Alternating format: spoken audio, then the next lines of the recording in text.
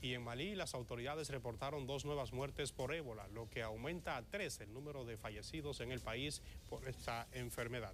Según se difundió, un enfermo, un enfermero de una clínica en Bamako, la capital, murió el martes. También falleció el paciente que el trabajador sanitario estaba atendiendo. Se cree que esta persona había llegado a Malí desde Guinea.